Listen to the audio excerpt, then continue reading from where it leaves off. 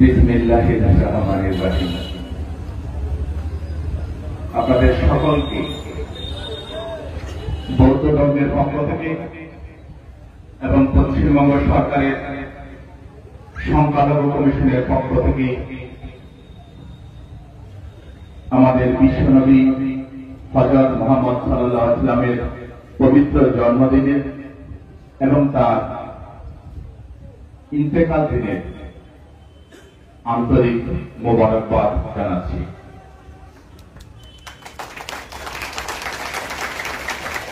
জগদীশপুর আশিকা রাসুল আলমার সোসাইটি আজকের এই বুকে যে মঞ্চ সাজিয়েছেন আমাদের বিশ্বনবীর জন্মদিনে, মঞ্চ আলোকিত করে আমাদের বাংলাম গাঙ্গা শরীফের পীরসাদা তথা বিভিন্ন ধর্মীয় সংগঠনের সাথে যুক্ত। আমাদের মাদার ট্রাস্ট ইন্টারন্যাশনাল অ্যাওয়ার্ডে সম্মানিত। আমাদের টালিগঞ্জ সম্পত্তি বুদ্ধ বিহারেরও যিনি ভাইস প্রেসিডেন্ট একজন মুসলিম ধর্মগুরু হয়েও আমাদের পীরজাদা সৈয়দ শাহ আতিক আলী আল সাহেব উপস্থিত আছেন। উপস্থিত আছেন। আজকে এই মঞ্চ নেপথ্যে যিনি আমাদেরকে সাজিয়ে দেন আমাদেরকে এক মঞ্চে সকল ধর্মগুরুদের বসার যিনি মূল নায়িকা, এই বাংলা যিনি বলা যায় মুক্তিদাতা, বাংলার জননেত্রী মমতা ব্যানার্জি মহাশয় অত্যন্ত আশীর্বাদ জন্য আমাদের হাওড়ার মাননীয় জনসেবক, পশ্চিমবঙ্গ সরকারের রাজ্যের মাননীয় মন্ত্রী পুলক রায় মহাশয় উপস্থিত আছেন। উপস্থিত আছেন উলুবেরিয়ার সুখ দুঃখের সাথে, মাননীয় বিধায়ক বিদেশ বসু মহাশয়। উপস্থিত আছেন আমাদের যারা সংখ্যাগুরু, আমাদের হিন্দু ধর্মগুরু, রামকৃষ্ণ মিশনের পণ্ডিত প্রবর মাননীয় পরমানন্দ মহারাজ। উপস্থিত আছেন আমাদের আমাদের প্রভু যীশু খ্রিস্টের তথা মহান গড়ের যিনি ক্ষমার গুণের কথা বলেন, খ্রিস্টান ধর্মের প্রতারক, মাননীয় ফাদার রঞ্জন দাস। উপস্থিত আছেন গুরু নানকজি যিনি ধর্ম প্রচার করেন, শিখ সম্প্রদায়ের ধর্মগুরু তথা আমাদের বন্ধু মাননীয় শরণ সিং। উপস্থিত আছেন আমাদের বিশিষ্ট সমাজসেবী, এতে সমল হক শেখ রাজা। মঞ্চ এবং নিচে যারা আছেন, অনেক আমাদের মুসলিম সম্প্রদায়ের মাননীয় আলেমা উলেমা মোয়াজ্জিনগণ এবং আমার প্রিয় ভাই ও বোনেরা, আপনাদের সকলকে আবারও আমি পশ্চিমবঙ্গ সরকারের সংখ্যালঘু কমিশনের পক্ষ থেকে বিশ্বনবীর পবিত্র জন্মদিনে আন্তরিক মোবারকবাদ জ্ঞাপন করছি।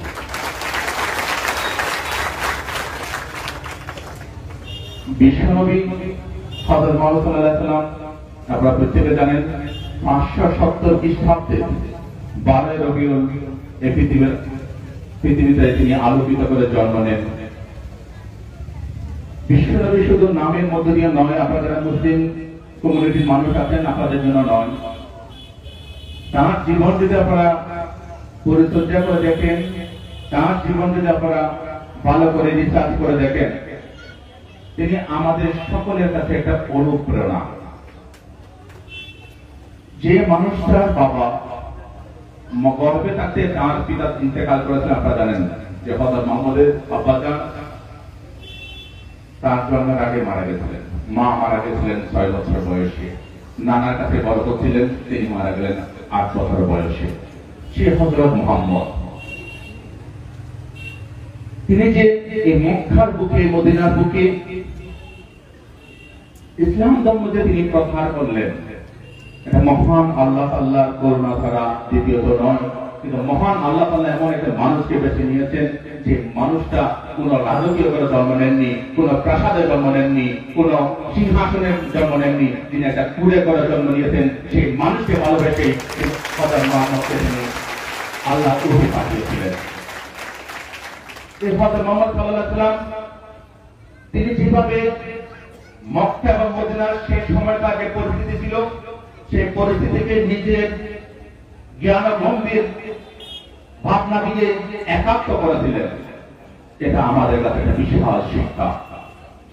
বর্তমান সময়ে দাঁড়িয়ে যখন আমরা হিন্দু, মুসলিম করি, যখন আমরা বৌদ্ধ, খ্রিস্টান ভাগাভাগি করি, আমরা যখন জেন, শিখ ভাগাভাগি করি, যখন আমরা বিজেপি, তৃণমূল, কংগ্রেস, সিপিএম করি, সেই সময় দাঁড়িয়ে আমাদেরকে একটাই শিক্ষা নিতে হয় হাজার মোহাম্মদ সাল্লাহ কাছ থেকে, সেটা হচ্ছে তুমি যেমন মানুষের জন্ম নিয়েছো তোমার সাথে সাথে তোমার প্রতিবেশী যিনি আছেন, সে আল্লাহাদে তিনি উল্লেখ করেছেন, প্রতিবেশী যদি কষ্ট পায়, সে তিনি কি নাস্তিক তিনি কি ইহুদি তিনি কি তিনি কি হিন্দু, সেটা দেখার নয়, তিনি তোমার প্রতিবেশী, তাকে রক্ষা দায়িত্ব প্রত্যেকটা মুসলিম, প্রত্যেকটা দায়িত্ব রয়েছে।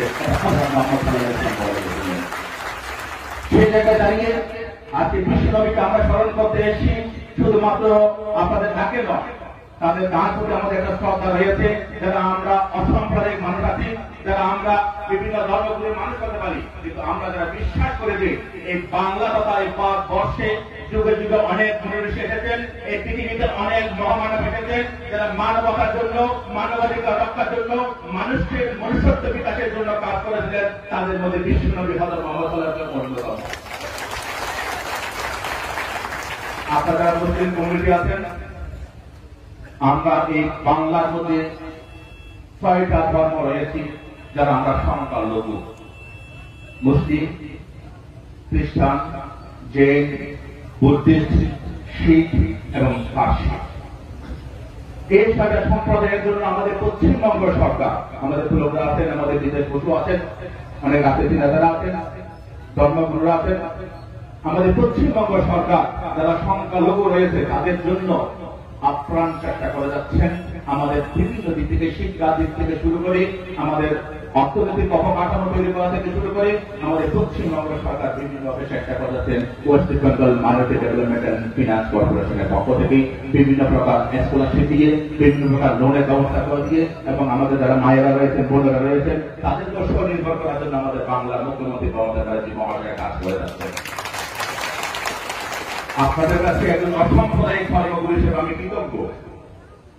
দু হাজার একুশের ইলেকশন আপনারা যেভাবে বাংলার সম্প্রীতি রক্ষার জন্য ভোট দিয়েছেন, আপনারা যেভাবে বাংলার উন্নয়নের জন্য রক্ষার জন্য ভোট দিয়েছেন, হিন্দু, মুসলিম, বৌদ্ধ, খ্রিস্টান, জৈন, শিখ, পার্সি, সকলকে এক মঞ্চে বসাবার জন্য ভোট দিয়েছেন। সেই ভোটের মধ্যে দিয়ে বাংলা সরকার প্রতিষ্ঠা হয়েছে। সেই সরকারের একজন মাননীয় গুরুত্বপূর্ণ নেতা আমাদের পুলকরায় মহাশয়, একজন বিদেশ বন্ধু মহাশয়। কারণ এই বাংলায় আমরা পাইনি বাংলাবাগি কারণ আমরা বিশ্বাস করে কাজী নজরুলের সেই উক্তি। মোরা রেখে বিরুদ্ধে দুটি কুসুম, হিন্দু, মুসলমান, মুসলিম তার নয়নমণি হিন্দু তার প্রাণ, সেই ভাবনা নিয়েই আমরা এই বাংলায় চলি। এই বাংলায় আমরা কথা বলি। আমি বলতে মন্দিরা নেই আমাদের এখানে সৈয়দ শাহ আতিক আলী আলকাদের সাহেব আছেন, বাংলার কান্দাসরের বিদ্যাদা তিনি আমাদের মাননীয় রসুলের তিনি বংশধর, সেই পবিত্র পুরুষ। থাকে যে মানুষটা ইসলাম হয়ে একজন পীর তিনি একটা বুদ্ধিস্ট মন্দিরে গিয়ে, একটা বুদ্ধ মন্দিরের সদস্য পদ নিয়ে তিনি সেখানে সেবা দেন।